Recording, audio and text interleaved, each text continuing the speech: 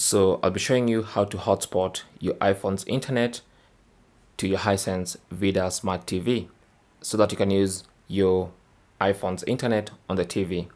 So the first thing you want to do is enable hotspot on your iPhone. So go to settings and then go to mobile service or cellular data, depending on where you are. And then go to hotspot and turn hotspot on. If it's off like this, you want to turn that on. And then keep in mind that the name of the network is going to be your iPhone's name and the password is right here, as you can see in plain text. So now that you've enabled hotspot on your iPhone, what you need to do is just simply go to your TV and find that Wi-Fi network. So from the home screen, just go to the menu at the top there and select settings. Under settings, go down to connection, select that, and then go down to network, select that, and then select network configuration. And now it's going to start searching for available Wi-Fi networks. Now it should find your iPhone. There you go. So there's my iPhone and I renamed my iPhone to iPhone. So yours might have a different name. Mine is called iPhone. So I'll select that and then put in the password.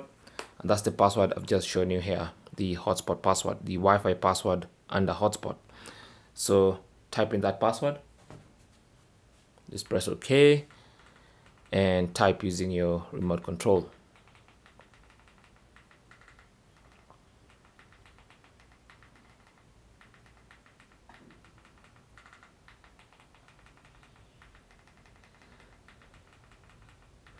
and then press OK and that should connect to the internet. There you go. Once you see that check mark, it basically means you're connected and there is uh, internet access. So now when you go back home to the home, you can actually see that we have a Wi-Fi connection there and you can now launch anything. You can watch a YouTube video or do whatever it is that you need to do.